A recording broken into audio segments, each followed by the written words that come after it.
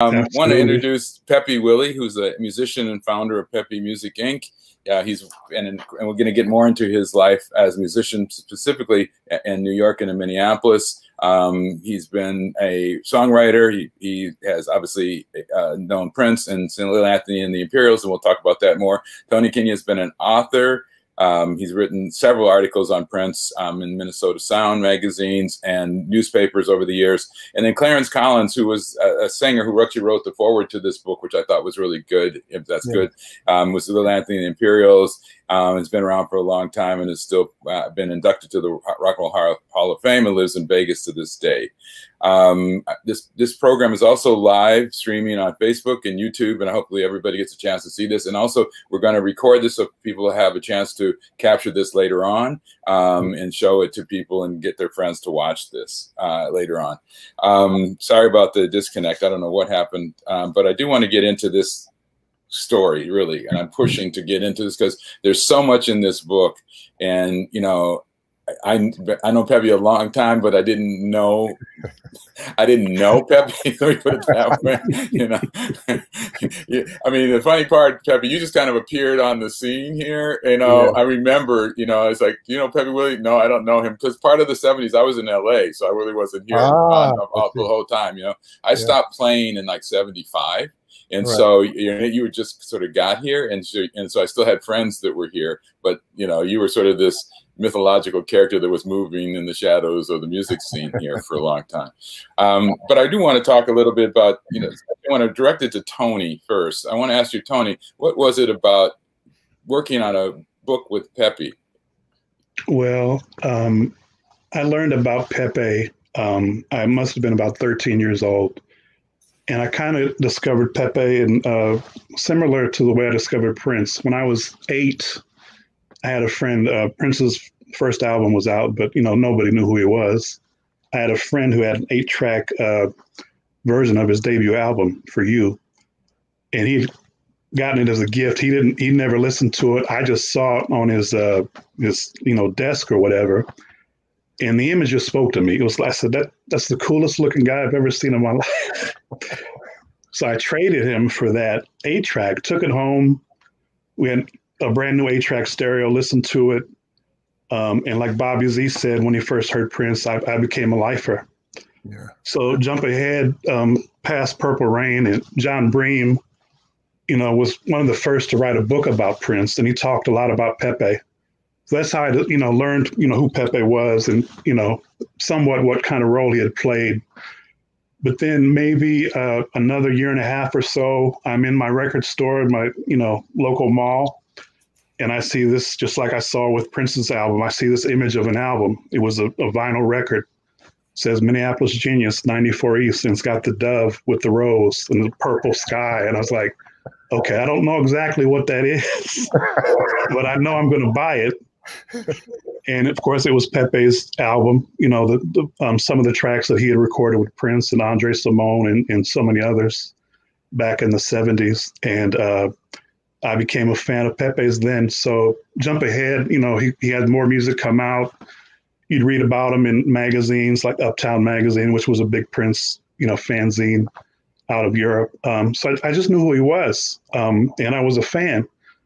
So I'm 26 when I finally move here, and Prince is doing a benefit at Paisley Park. This was uh, September 97.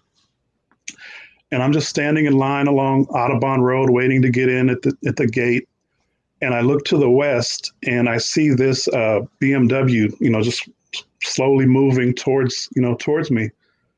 And I'm not a big car car guy, that's, you know, but um, I just kept my eyes on it for some reason. So the car pulls into uh, tries to get in the parking lot, and the security comes and stops him, right?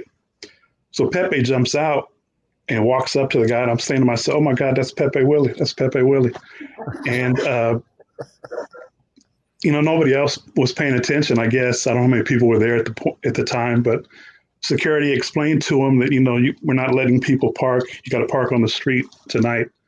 So as he uh, walks back to his car, I just blurt out, out of nowhere, "Hey Pepe," which is not something I would normally do. It just came out. So he walks over to me and he says, "Where'd I know you from?" He puts, you know, puts out his hand. I said, You don't, but I know you. I thought I played off with him. That's what I. right. And uh, we started talking. Um, Marcy was with him that night um, from 94 East, and uh, we've been friends ever since. And we talked about writing this book probably 20 years ago, if not more. And in 2006, 2007, we finally sat down and started to put, you know, words on a page and maybe came up with 80 pages of just stories. And um, I say February, I think February 2016 is when we really got serious and, and jumped back in it. Right, because I remember we only had like 85 pages at yeah. first, believe. So. Yeah. So, so Pepe, what, what made you feel that you had a book in you? I mean, this is, you know, this is, I mean, I've read the book now. I know you had a book in you, but how did you think you had a book in you? Well, you know, I, I didn't really know. Um, um, I, I used to tell these stories about you know, being around my uncle, you know, Clarence Collins of Little Anthony and Imperials when I was 15. Uh, I went to my first rock and roll show with Little Anthony Imperials, Chubby Checker, the Coasters, and all them was on the same show. And I used to tell these stories about my experience, you know, at these rock and roll shows, you know, and with Murray the K and then the whole Motown review and that whole thing. And somebody had said to me one day, you know, you should write a book. And I was going like, yeah, but I didn't know if I had enough content to write a book or anything like that, you know. And through the years, it kept telling the same stories over and over and over again. I wanted my uncle to write a book mainly, you know, because they went through struggles in their career and we are standing on the shoulders of those artists you know that made it good for us to be where we are today to own our own music to have uh, to produce our own music to write our own music. But uh, um, when tony came along what he didn't mention at first is that we played a lot of basketball together yeah, and trying to stop his jumper. so you decided to write a book with him. yeah, you know, but I had a hook shot that was unbelievable. Nobody could stop that. Still Nobody, does. Still know? does. And uh, so I decided, okay, yeah, we should write a book, but I didn't really know how to start, you know. And uh, Tony came along and he said that I'll help you. So I said, okay. And that's when we started and we got through like 85 pages and then we kind of fell off a little bit and and then we just played basketball and hung out together. He became a real good friend and I knew his family and his daughter and everybody, his wife and his daughter. And uh, one day we just started back up again. Tony used to come over to the house and he started mentioning, yeah, but what about this book thing and stuff? And then we just started writing. I started recording a lot of the interviews that I was uh, having, and uh, and giving Tony the tapes. we started writing. When you started this, did you guys come up with sort of a theme? I mean, reading your reading it is really sort of it's not. I don't want to say it's it's it's it's tales, but it is definitely a, a journey through the music industry. When you when you talk about six decades, it is really yeah. goes through the process. And so, were you guys trying to instill some wisdom? what was kind of the structure that you came up with in, in, in designing this book? Either well, one of you. Yeah, you know, um, Tony, you want to answer that? well, as Pepe mentioned earlier, he wanted to really talk about the struggles and what it meant to come up as an African American musician in the 50s and the 60s and through through today even and how the lessons he learned as a teenager in in his 20s, how he was able to to share those with Prince and Morris Day and Andre and all the other talents around here in Minneapolis. So that was a that was always a big focus. Yeah. Another part of it was, I mean, Pepe's life before he even gets to to Minneapolis. That to me, that was a book. That was a bestseller itself. Uh, his life story is tremendous. Things that he went through, the things that he experienced. So we knew we had something there. We thought we had something there to to you know to work from, and of course, being you know center stage or or you know behind the scenes maybe, but right there when Prince is uh, is starting to make that journey to stardom from well, a teenager. You, you know, one of the things is that, that you know it becomes to me and anybody who's worked with Prince pretty soon everybody thinks that Prince was the center of your life. And you know and I reading your book I really realized it, that there's so much that you were going through Pepe in your life and what you were doing. I mean I mean the whole I mean I'm not pulling anything on the book. I mean you were in a street gang in, in Brooklyn and you know uh, have, having a periphery in the music industry, you know, with with your uncle and then other groups that you're around. So you kind of absorbing it. But that's what I liked about the book is it, it isn't centered so much on Prince. Prince is obviously right. a titan in in the life in your oh, book. Yeah, but, absolutely. But, but yeah, so so in in your life, I really want to talk because it's interesting that the street gang thing is really interesting to me because you, obviously you know you get caught up in it to a certain when you're young because you were young. But mm-hmm. sort of what made you sort of get away from that life? Well, you know, um, my father always told me, and I was afraid of my father. My father was like, "Oh my God," you know, you know. But uh, he said, "I don't ever want to see you in the game," you know. and I'm going, "All right, Dad, all right." But every day I used to go to this candy store. It was about a half a block from where we lived at this apartment building in Bed Stuy and I'd go in the store and you get penny candy and I would just load up the bags and all like that. So then when I came out, it was always these group of guys, you know, just standing there.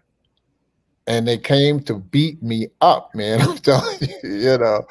And uh, there was one guy named Preston who I feared. I mean, he was short, but he was very muscular, but I feared him and uh, these guys would stop me and they would surround me and i couldn't go home with my bag of candy.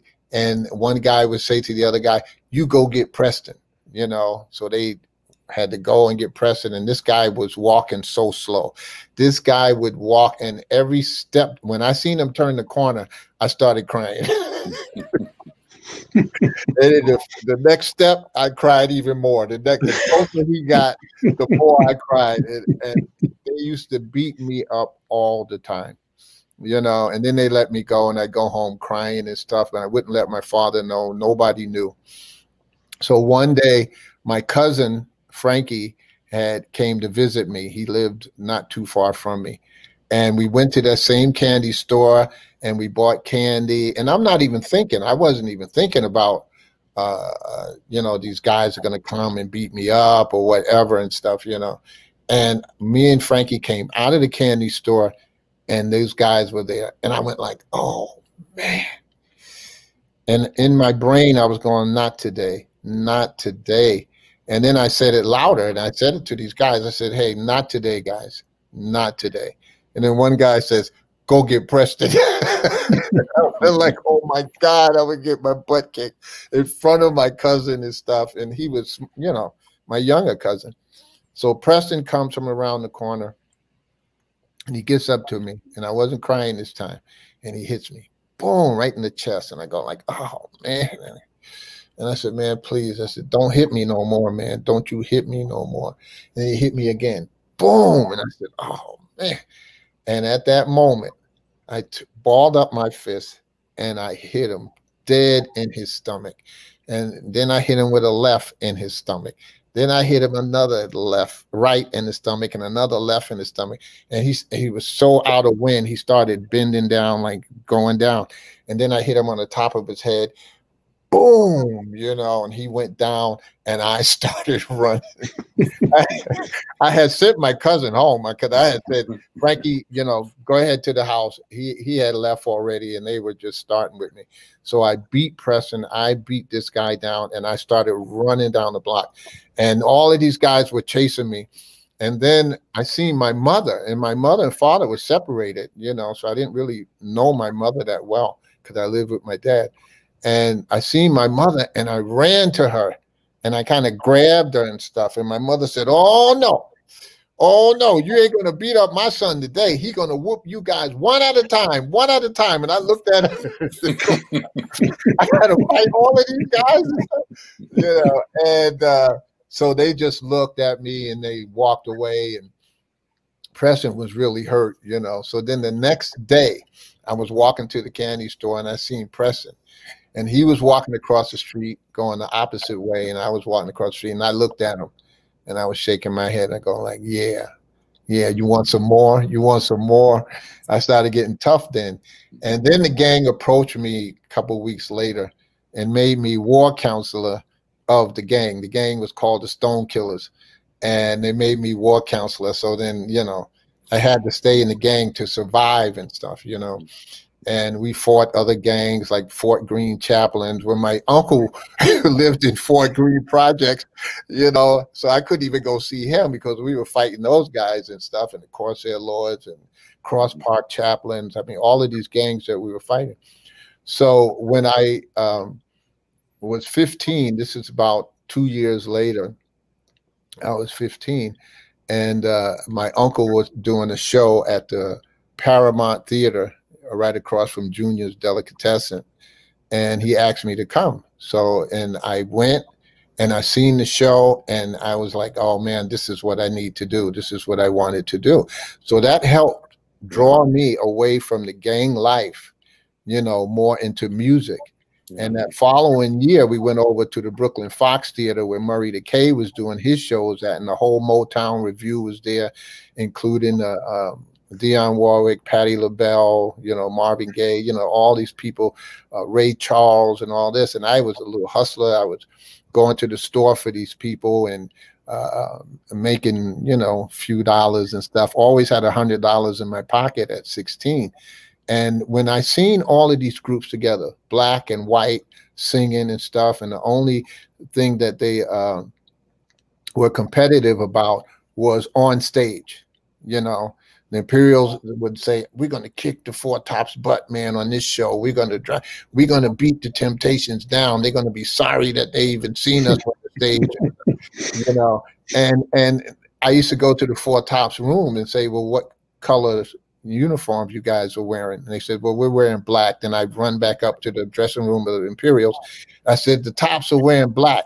And then Sammy would go, "Okay, we're going to kill them with the whites, man. We're going to kill them. We're going to wear white." And so and uh, and they did. I mean, you know, uh, Little Anthony Imperials always closed the show because there was no act that could follow them. I mean, they did dancing, they did splits, they did all of this stuff, and at the end of the shows, all of these artists, white, black, Timi Yuro, I mean, Righteous Brothers, and they would all stand in the hallways singing gospel songs.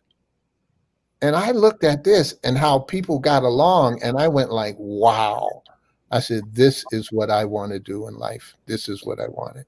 It's like the power of music to to bring people together. I mean, music is the universal language, and it um, definitely yeah. you get beyond that. So there was obviously something about music that tapped into your soul. Where did you sort of see yourself, you personally, Pepe, in in in this? What was your dream? What was your goal for yourself in the music world? Well, I didn't know how to play an instrument. That's first. You know, the only thing I knew how to play was drums. Uh, in school, I was uh, in the music class as a drummer. So we were reading and writing drums, you know, and uh, that was fun. But that, that is an instrument, you know. I, I, I, couldn't, I, couldn't, write songs with it, no chords. You know what I mean? I, you know, uh, um, so and I after I got kicked out of music class. and they sent me to art because I was clowning and stuff. I knew nothing about art, you know. And uh, uh, I remember one day at the Brooklyn Paramount, Brooklyn Fox Theater, a producer came up. His name was Teddy Randazzo. And uh, he had a song for the Imperials because their last hit was like Shimmy Shimmy Ko-Ko-Bop or something.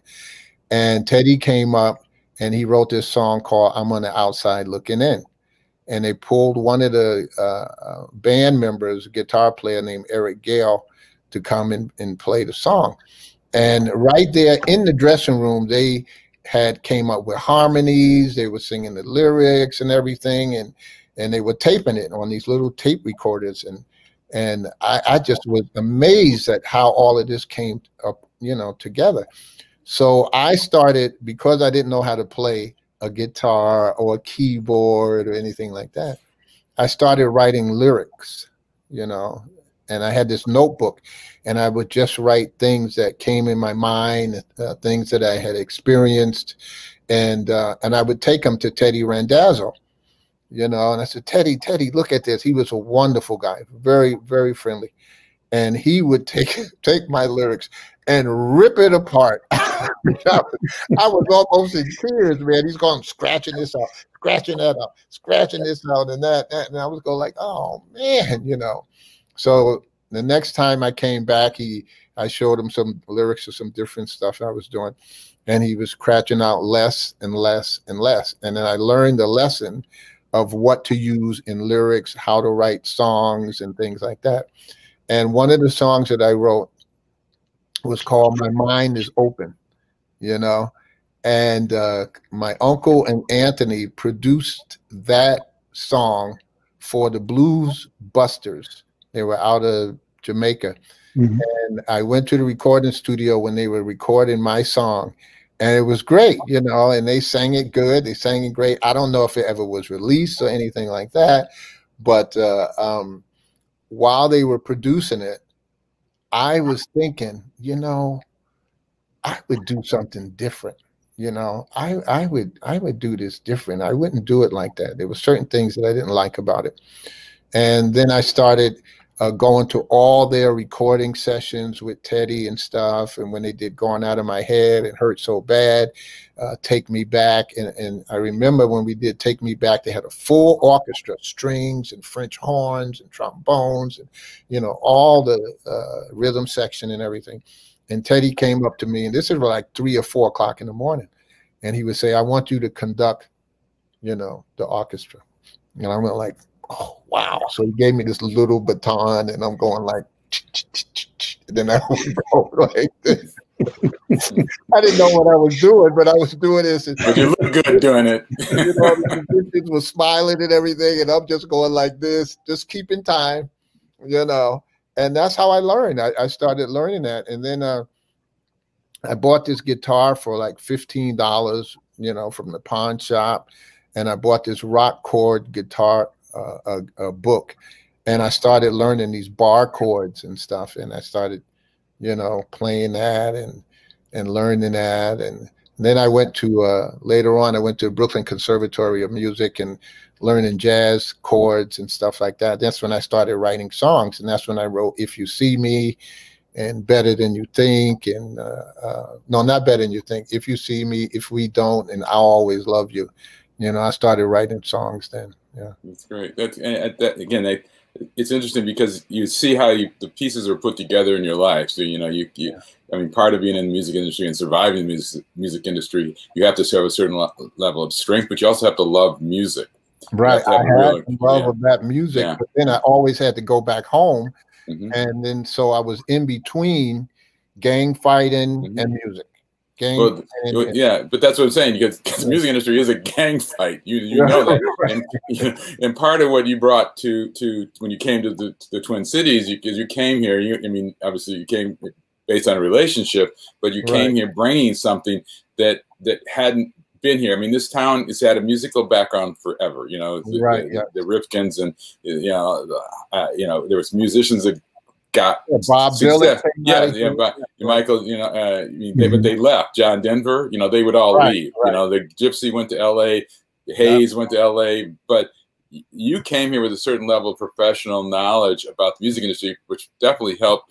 Uh, I think a lot of the groups that were here when you came because you had a perspective that was a little different than what's just organic, and I think it also kept people here.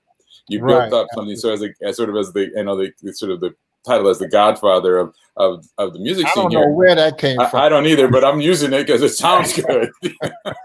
but but it is you brought something to it where people could say, okay, because I, I, mean I I really got to know you through Prince, you know, and because everybody would say, you know, I got that Pepe was doing this or I got that from Pepe, and and I grew up with Stephen Rivkin, so you know I knew your name from Bobby and Stephen and David ultimately. So you know it was kind of that process. So you were there on the scene.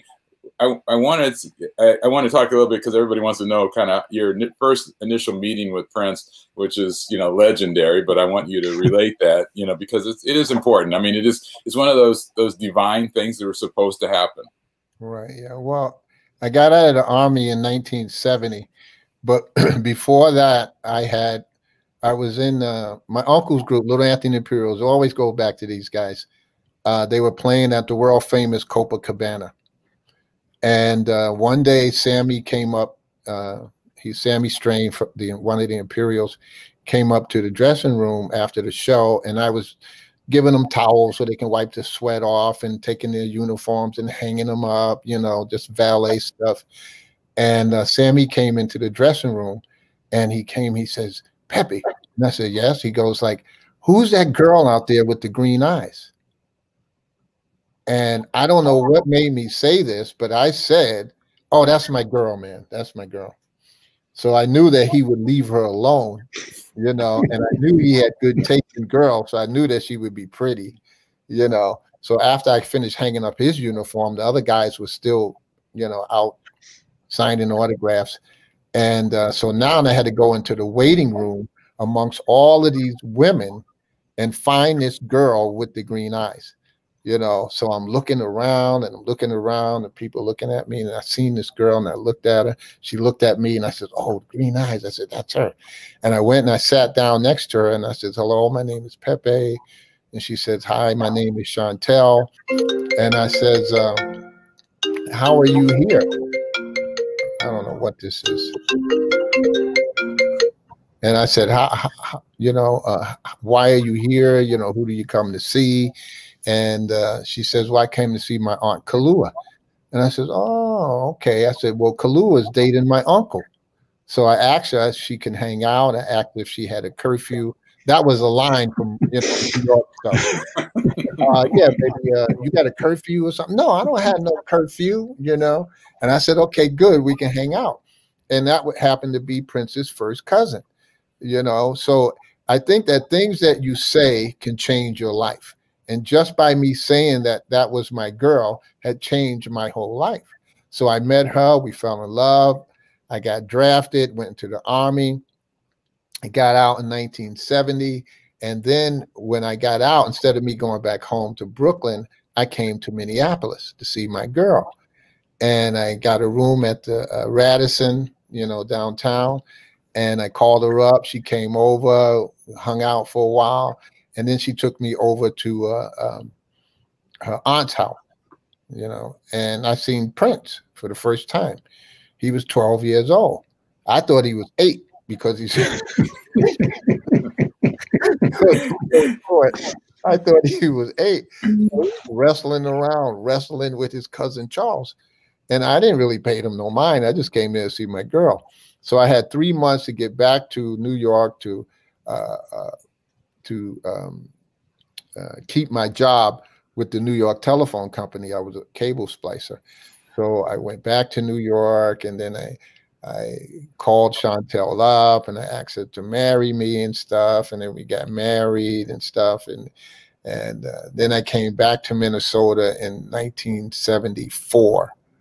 You know, uh, my father-in-law Eddie Manderville was doing a ski party. And I didn't know anything about skiing, you know, from Brooklyn. You know, what do we know about skiing, you know? So the band that was playing at the party after we got finished skiing was Grand Central. So now what I heard, they had thought, oh yeah, some big time producers coming from New York to see you guys you know, I didn't know it was me. You know, I just came for the party and stuff. You know, have a good time. So, and and Marcy's mother, Levon, kept looking at me and stuff, waiting for me to say something to her, and I, I didn't know what to do. You know, and I, I said, "Well, Pepe, you got to do something. You got to, okay." You know, Prince and those guys were playing Earth, Wind, and Fire tunes and stuff. And I, so I went over to her table. She was sitting by herself, and I said, "You know, I really like this group." And she says, Oh, yeah, really? And I said, Yeah. I said, I would like to work with these guys. And she says, Okay, we'll set up rehearsals and all of this stuff. And we that's how it all started. And I started working with Grand Central. And uh, uh, I told them to play one of their songs. And uh, uh Andre had You Remind Me of Me. Prince had this song called Sex Machine. And, uh, you know, so, you know, they was playing it. And I, I couldn't hear the lyrics. I was going like, well, what? Something sounds not right. And uh, and I said, um, Andre, can you write the name? There was a blackboard in the attic. I said, can you write the lyrics on the blackboard? So he wrote the lyrics on the blackboard, and the rest of the group was going like, oh, so that's what you're saying? You know, so they, they didn't even know. The, plus, the songs were lasting like five, ten minutes. I mean, they were so long. And I gave them this formula of how to write three minute, three minute, 30 second song because that's what radio was playing at that time. That's all the time that you had, you know, and uh, I worked with them well. And I didn't know that Prince played several instruments until one one day at rehearsal he went up to Linda and uh, uh, Linda Anderson, Andre's sister, and she was playing keyboards. And he went over to her and he says, "This is what I want you to play." And he started playing these keys, and I was like this. I was going like, "Wow, man, this guy plays keyboards and stuff." All right, okay. Then he started playing the bass, and I went like, "Oh my god, this guy plays bass too." So I asked him one day, you know, this is after a, few weeks or a month or so. I said, Have you ever been in a recording studio before? Because I was in the studio recording with 94 East. And uh, he said, No. And I says, Well, I want you to play guitar for me with my group. I'm in the studio and stuff. So I gave him a tape of five songs. I said, Learn your parts and stuff. And uh, we'll, I'll book time in the studio. We'll go back and, and do it. And he learned all his parts. We went in the studio. I booked four hours and we did five songs in four hours. Yeah. That's amazing. That's amazing. I know in in the context of, of when you came, I know Prince was the first one. Did you plan on sort of becoming, uh, bringing your music career here to the Twin Cities based on the music that was here? What was it about that insp- inspiration that no? It, it wasn't. I think that Grand Central gave me my my insight of staying here in Minnesota, you know, because uh, my friends would call me up from Brooklyn. They was going like, yo, man, you know, how you doing in Minneapolis? They couldn't even say it, you know. and uh, any brothers out there in Minnesota and stuff? Yeah. I'm going like, yeah, you know.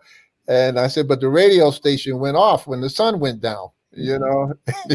yeah, yeah. Uh, what was that? K K uh, K- KGLH? KXL or yeah. Yeah, KUXL. That's the one that went down. Yeah. It was a sun station. It was only on when the sun was up. Right. Only so that's where they got their power from. Yeah. Mm-hmm. So they asked me, was I coming back? And I said, man, let me tell you something. I said, there's some great musicians here. You know, I said, I'm going to make this the, the, the next Motown. That's what I thought. I said, I'm going to make this the next Motown. So I stayed, you know, and just started working musically. You know? Yeah. No, that's great, and I'm glad you did. And I, you know, you yeah. now are part of Minnesota history, which yeah. I think is great to hear. This that the Historical Society has put together this book, sort of radiating you. You, um, uh, I know there's probably some questions out there. I want to kind of open it up for other people too. Um, yeah, okay. If you have any questions, please direct them to us because we're definitely open to it. It's not just you know um, me talking and asking questions. I, I it, one of the one other question is that that knowing Tony, knowing you know, kind of some of the history because you you actually know more about this Minnesota music scene than you're letting on right now. I know that for a fact. So just want to, your, your take on the Minnesota music scene because you you came to it musically too, just like Pepe did. You came to this environment. What what were your your feeling? Well, when I was a teenager, I mean, I wanted to be in Prince's band. That was my, that was my life's goal. okay. I was, I was gonna, you know, and I, I, I what were you going to play? Uh, guitar. okay. I, I tried. Uh, my daughter's got that. She's got the talent in the family musically. Um, she she plays several instruments, yeah. but uh, that was my goal. I realized uh, you know, I'm not, I'm not going to get there.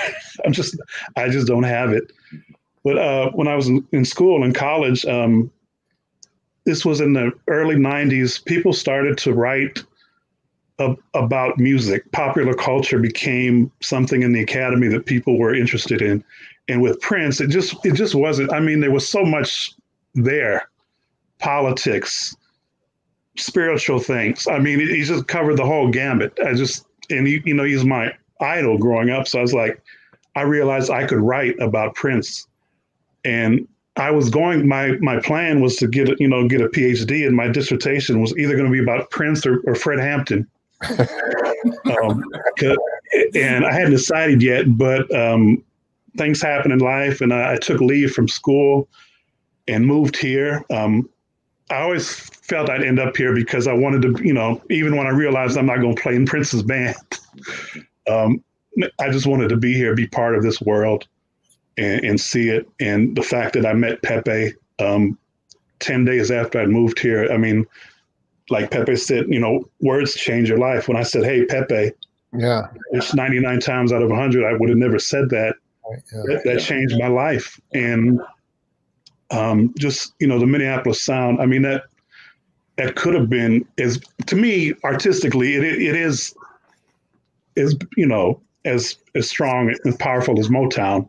Yeah. Um, commercially, you know, for a lot of reasons, some of you know, um, I won't get into those, but you know, it didn't didn't develop that way. But it's still like um, it's just a musical phenomenon that I grew up with, yeah. and um, and just everything that uh, you know I got out of the music, not just Prince, but the time and it, all the. Oh, there's so much talent that was here, which yeah. it seems you know seems almost like a miracle that, yeah. that this much talent emerged from one one city, yeah. particularly when you consider you know in the black music world. I mean, Minneapolis when Prince was growing up, what three for four percent African American, mm-hmm. if that, and just the you know it's just um, something in the water, I guess, as they say. Jimmy, Jimmy, and I. I mean, I mean, Jimmy and I were talking. Jimmy Jam and I were talking about this once, and and that part of what growing up here in this town, because there was such a small African American population in the Twin Cities, I should say, Minneapolis and St. Paul, but also what it was is you you had to listen to all music. You, I mean, right. polka. I mean, there was Polka yeah. shows were on TV. You watched them because that was all that was on. You know, mm-hmm. you ended up watching country western music because that's what was on. Porter Wagoner and the Wagon Masters, and Dolly Parton was the backup singer. I remember those shows. but you know, we didn't have we had a black radio station only on periodically, so you listen. Right. So you you'd go to a black party, and there would be James Brown and the James Gang. You you, you grew up that so you, you created this different palette that I think than, than in other places in, in, in America anyways. And I think you started to accept and then it infused you. And I, that's kind of what it was. So I want to open this up for questions. If there's any questions out there, just send them to me so we can ask them. Um, I think there might be a few backed up, you know. Yeah. So Pepe, who did who did you see before you hit that that you knew you were going to get be huge? So who did? I'm huge. who did you know before they were going to be huge? You know, how did you? How did you? Um, what like what artists? Yeah. Who did you, yeah, before not, they? Not who did you see before the? Who did you see before they hit that you knew were going to be huge? Oh. Besides friends, who did you know? Well, Wayne Newton. yeah, that, that, that's good. You know, yeah, yeah. he was going to be huge because he was doing Danke Schoen, mm-hmm. darling, Danke Schoen. Mm-hmm. And I was going like, wow, he was on the shows. And I was going like, wow, I don't know how long this guy is going to be in the business.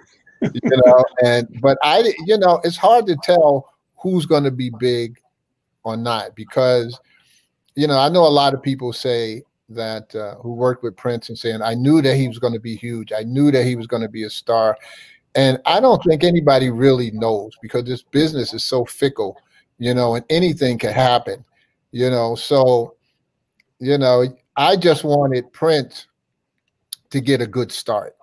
You know, I, I knew what it was in order to uh, to become successful, and I knew how hard it was for a new artist to break and I just wanted him to get on his way and to be successful. I didn't know that he was going to be as huge as he was, you know, but I just wanted him to be successful.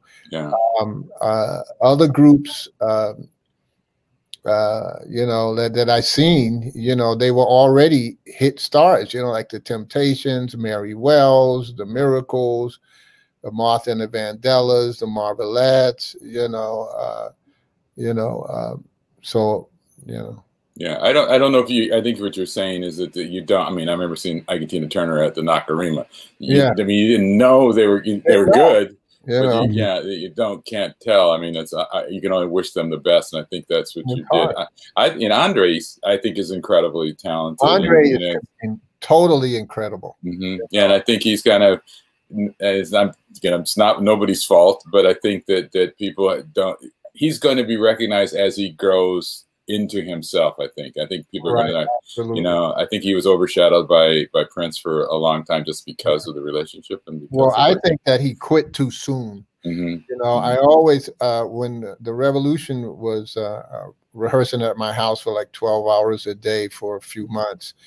Uh, I think it was four, five, six months or something like that, and uh, um, I I always had a talk with these guys. You know, always, you know, I, I always said you have to protect Prince because he's the one that signed with Warner Brothers. So if some jealous husband, because their wife loves Prince or some boyfriend want to beat Prince up, I said, you guys can't sit there and go like, oh man, Prince got his butt kicked. You know, you know, you got to help him. You know, you got to be there. And as long as you stay with him, then you can write your own ticket once he becomes bigger, you can write your own ticket and move on. You can walk into any record label and get you a deal. But I thought that Andre quit too soon.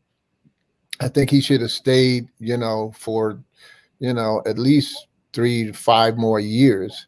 And then he could have went out on his own. Even though I liked his first album that he did with Sony or Columbia, you know, I, I liked that first album. Mm-hmm. Yeah, and I thought the stuff he did, even that he produced, the songs he produced and you know, he did a good job. We have yeah, any more Jody. questions out there? Huh? Yeah, Jody Watley. Yeah, yeah. yeah.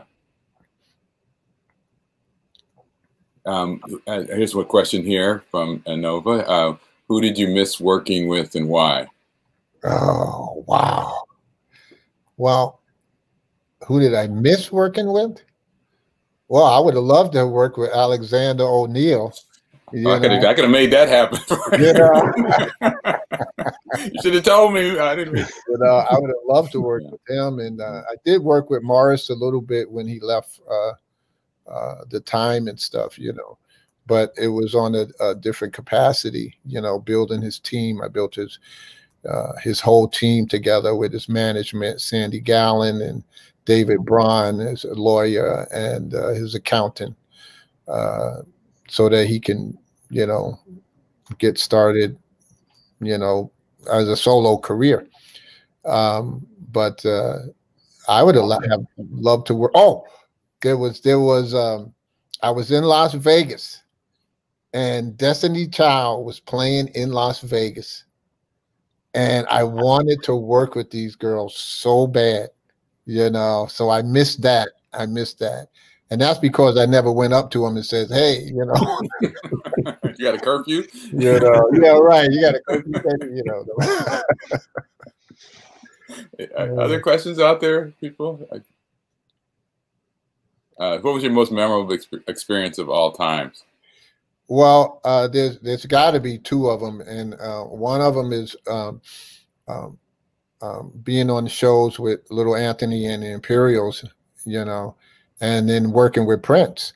You know, working with Prince, you know, in his younger days was like awesome, you know, because everything that I asked of him, he did. He never questioned anything that I said, except for maybe one time.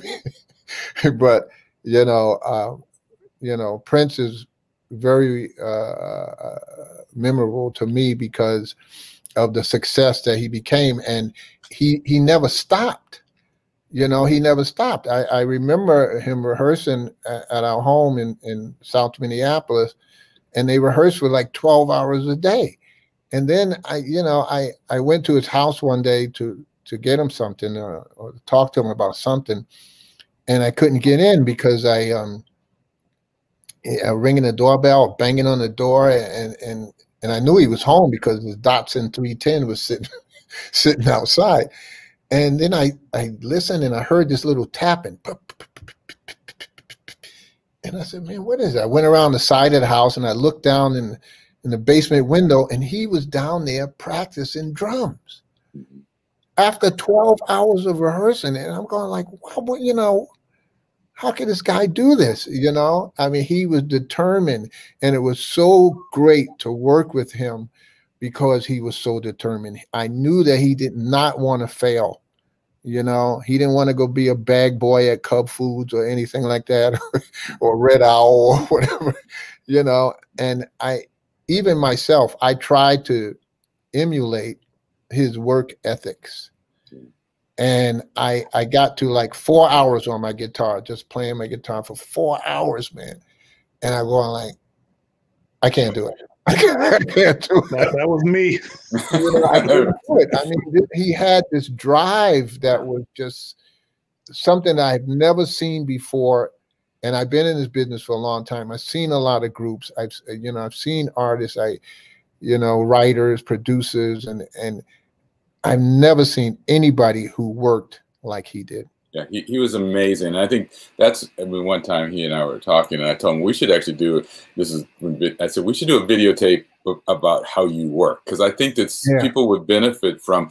I mean, yes, he's a star. He was a superstar, whatever. But he, even in his superstar status, he still worked like there was like no no tomorrow. Yeah. I mean, it, it, you just like he would I remember one time we were we, we were finishing up Graffiti Bridge, and we had been up for like three days because we were then we had flown to LA, and it was just it, and I was he was talking to me, and all of a sudden he nodded off, and it was like for me, it's like he he just he literally just in the middle of a conversation he just passed out. He worked till he just couldn't, he couldn't, you know. But that's what he would do. It's just it, the total focus on improving yourself and whatever you're yeah. doing. You know, Absolutely. it's just it's just a, a, amazing, and it would be an inspiration to people. Not just the fact that he was a good songwriter and all that stuff, but the fact that he worked at it. it it's yeah. not just something that was given to him. It was right. pure hard work. You know. Um, any other questions out there by the audience? Anybody else? Oh, question. Um, what is Tony's writing background? Wow. Well, again, I, I never set out to be a writer. Um, my father was a, a, you know very articulate, um, both or you know written word and, and speaking. He was you know he taught speech in addition to history, and uh, I never had that that ability. I never felt comfortable in that in that role, and I really didn't think about writing until I got, like I said, I got to college and uh, had professed, you know, when I, I realized I could write about Prince and things, you know, popular music, popular culture. Um, I had, you know, professors that uh, I had a professor in particular, um, Floyd W. Hayes III, you know, one of my mentors. Um, I'd write, I remember taking a class with him and I was getting A's in other classes. I, I turned a paper to him, I got a C. And I'm, and I, I, couldn't believe it, right? And um, he always talked about how you know high school never prepared kids to to write. You know, we're not taught how to write or think critically. And um, I, I, wanted to do better, so I, I, kept going. And he he'd raise the bar, and I, would get a little better, and he kept raising the bar. And that's how you know writing be, kind of became my thing. I don't know that I'm particularly good at it even today. Oh, but it's uh, I've I've made a living at it. I mean, it's always what I've done. I've been in the nonprofit world, um, largely as a writer, but the the music stuff and the print stuff that I've done, that's all just been uh, labor of love. Um, even th- even this book, you know, we weren't trying to set out to make any money. We just wanted to tell Pepe's story, and uh, I have to give you know, credit to Dr. Hayes. You know, without him um, I never would have, you know, followed this path. And even though I didn't, you know, continue to pursue my doctorate, I, I found a, you know, I found a place to land and um, live out my passions and, and, you know, write about them. And so yeah. I'm well, blessed. I, I, think I think you got you got you have a book here. I mean, you yeah. have a book here. You really do. And you having read it, you know, uh, don't put yourself down. I, encourage right. everybody to purchase this. You know, um, this book either from the Minnesota Historical Society uh, or from any of the bookstores. You can probably get it um, from uh, your local bookstore, probably from Amazon at some point in time. But it's a good book. This is a subject that I want to talk about because it's people who knew Prince um, have a different perspective about his passing.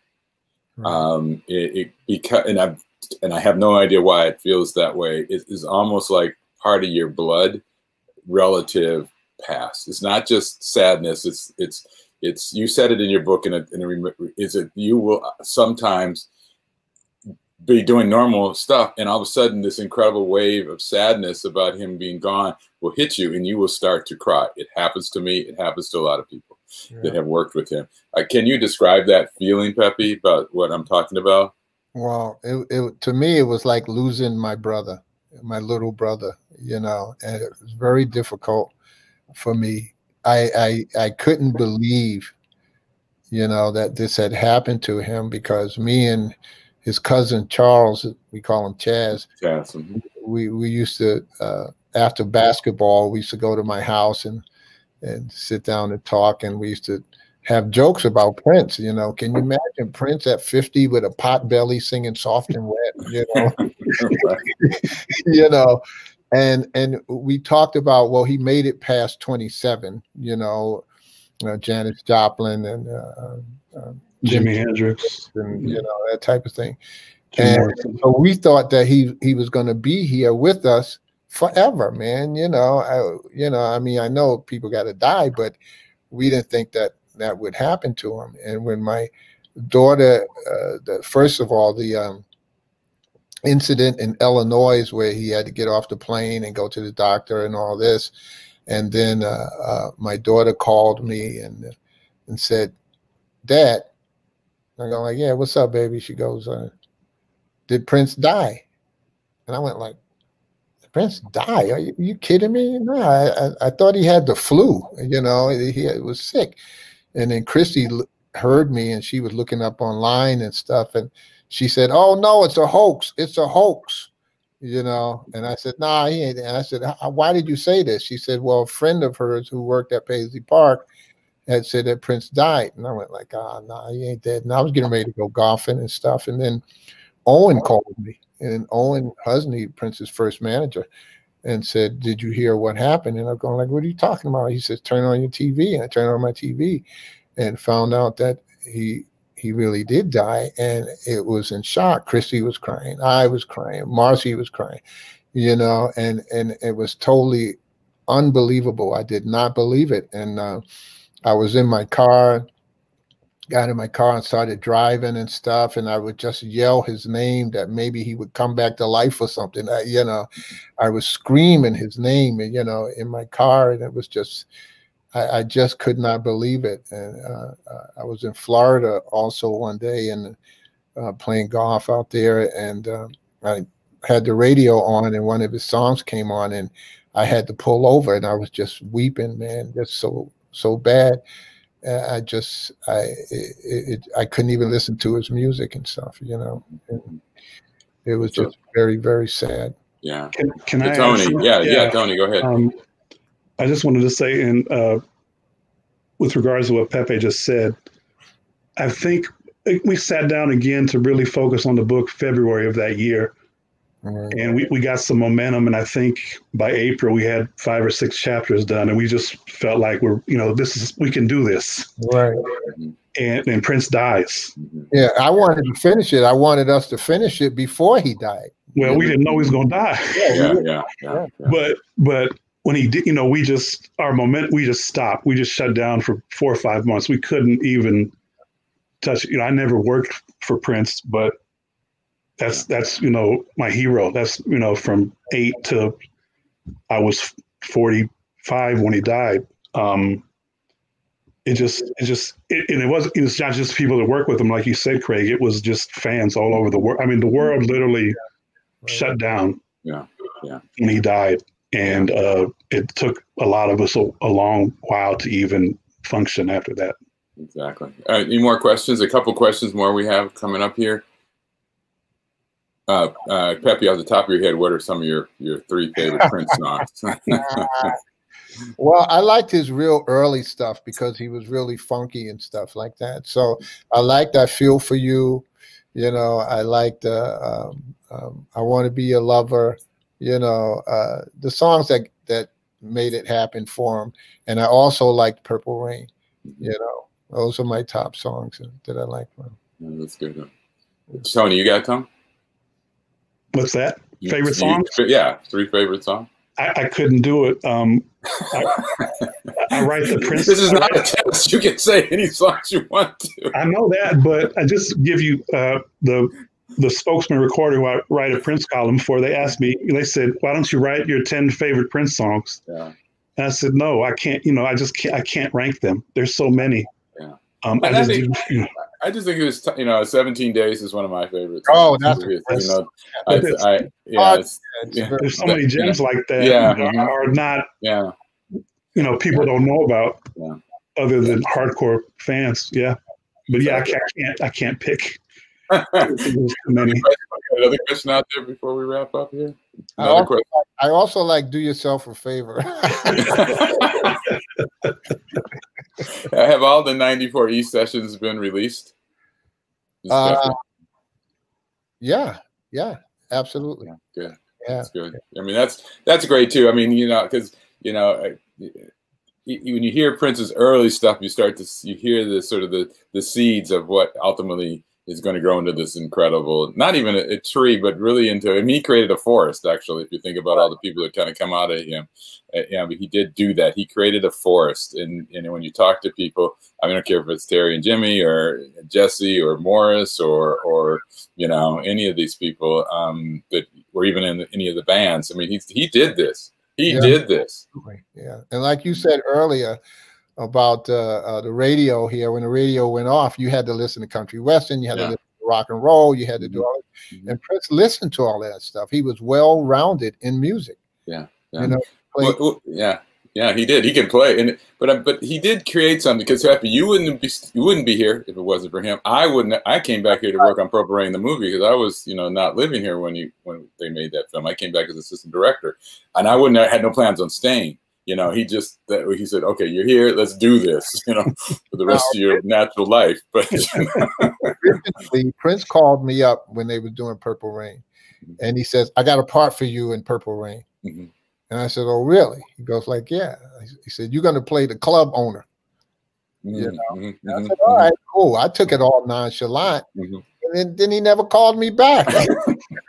right. To be, per- to be perfectly honest, the part, you know, he was didn't understand how films were made. He was, again, he, didn't- I mean, what did he know about feature? So, so there's a machine that came in, you know, uh, that sort of took over because that's how I got it. I mean, I because I'm an assistant director in DGA, Mhm. so they needed. It. So I got a call. Like, he wasn't him. I got a call from the producers, and it just kind of rolled that way. So it wasn't personal. It was just the process. Go and audition on my as an Yeah. actor. Mhm. Got it. You know. Yeah. and they cut my scene out too. It was me and Morris Day. Yep. We were supposed to have been at a club, and this Mhm. guy was juggling knives and a saw, uh, uh, a chainsaw, and you know, and hatchet. He was Mhm. trying, and he was dropping them all on the floor and stuff. So me and Morris were his laughing and my laugh. You know, Mhm. it was great, but it didn't make the cut. You know. No, just. Any, another question out there? We got one more question here. we- Um, pretty, pretty please, uh, Sarah Blues. Uh, what uh, what version do you like better? Jesse Johnson's release of Prince demo, uh, "If You See Me," or "Do Yourself a Favor"? Is it is that the, is the same titles? The same song because Oh yeah, yeah. it was originally called "If You See Me," and then Prince recorded it in the '80s, called it Oh. "Do Yourself a Favor." Oh, okay, yeah, okay. Morris and I were hanging out, and uh, we was in his uh, Mustang, and we was riding around in Minneapolis, and we ran into Prince, and we didn't want to run into him, you know, because Prince, you know, don't get me wrong, he was a great musician and all like that, but he was square. Prince was a square. all he wanted to do was practice and play and stuff. We wanted to hang out and have fun, so we ran into Prince and you know, he comes running over to the car. You know, what are you guys doing? And we went like, nothing, you know. we just wanted him to leave. Get out of here, man. You know. And he gives us this cassette, and Morris puts it in his in his uh, uh, uh, car and stereo, and it was "Do Yourself a Favor." And I was going like, wow. And it was a different version from mine. It was upbeat, and you know, and Prince did his thing to it, and it was great, and I loved it. You know, so Prince said he was going to put it out on one of his albums, but he never did, and it wound up in the vault. So when I um, was in New York doing Minneapolis Genius, Jesse had heard Prince's version, and he called me up in New York, and he says, "I want to do that," because he would just got signed with A and M, second album he was doing, and um, I said, "Go ahead and do it, man, because Prince ain't gonna do it. Just go ahead and do it," you know. So Jesse did it, and I liked his version, but ultimately, I love Prince's version. I love it. I love how he did it. And I love how he just took it. He just took it and made it his own. Yeah. That's good. Well, that's the title of the book. If I see, if you yeah. see me. If you see me, this is it, Pepe Willie and Tony. I want to appreciate you guys for coming here. I can I want to thank you for doing this. Also, the Minnesota Historical Society Press is where the book comes from. If you uh, it's sold at the bookstore at the Minnesota Historical Society, so you can get it there. Hopefully, when Electric Fetus opens up, it might be able to get it there. Obviously, you get these things. I don't know if it's online yet, but definitely put this down as a must read and not just because it's got Prince in it, but because it's about Minnesota, about music, uh, music business here. It's about Pepe and a life in music that you really dedicated yourself to. I respect that because it's important for us as as as we move in life to be mentors to younger people and to guide them. And I think there's still people out there for you, Pepe, to do this with. Um, also, I want to thank everybody uh, as it relates to the uh, PRN Alumni Foundation. Yeah. So definitely, that is a foundation that we continue to support. You know, the legacy of Prince and his giving. that's primarily what we do. So it's prnalumni.org. Uh, you can check that out on our website. I want to thank everybody yeah. being here, everybody that helped make this right. Greg Rice, thanks PRN alumni. Thank the Minnesota Historical Press. Tony, I love you, man. This time I love I- you too, Pep. Yeah, this has been great. It's been great. I mean, and you know, I'm glad we had a chance to do this, Pepe. You know, you and I are long overdue to do this. I mean, problem is that we're we're we're busy men, but we have to consider spending some time, and and not here in Vegas, maybe. Yeah. Well, okay. thank you so much. I really appreciate it. Yeah. All right. Yeah. I love it. It's been great. Thank you. Thank and thanks to the audience for joining us because this doesn't really exist unless the audience is there Absolutely. listening to it. So thank you. Thank everybody for logging in and mm-hmm. mm-hmm. listen to us chat for a while. Yeah, and hopefully this will get recorded. I think I'm pretty sure it will. And if you have an opportunity, please go to the Historic Society's website to to tap into this and pass it on to your friends because this is I'm not going to say it's a once in a lifetime. You might have another book in you. you might have another book in you. What is that book, Tony? What is What's it's coming. It's coming. What's the, what's the title? You, we don't have a title yet. Oh, Thank you, guys. Thanks very much. Right, Thank you, Craig. Take care, buddy. All right. Later.